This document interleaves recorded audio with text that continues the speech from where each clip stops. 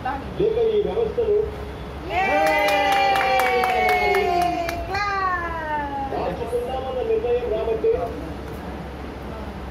ఈ గమనత్వాలను ప్రకటించారు రాష్ట్రంలో ఇప్పటికీ ఆర్థిక సామాజిక రాజకీయ స్వాతంత్రాన్ని పొందలేకపోతున్న వారి కోసం ఉద్యోగాల స్థాయిని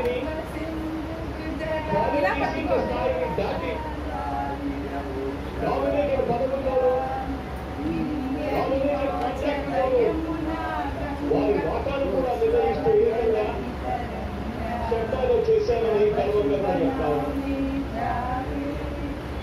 గ్రామాన్ని మార్చేందుకు గ్రామ సచివాలయాలు సచివాలయాలు పెడుతున్నాం మద్యాన్ని కలిగి తగ్గించి మార్పించే విధానాన్ని అమలు చేస్తా ఉన్నాం One.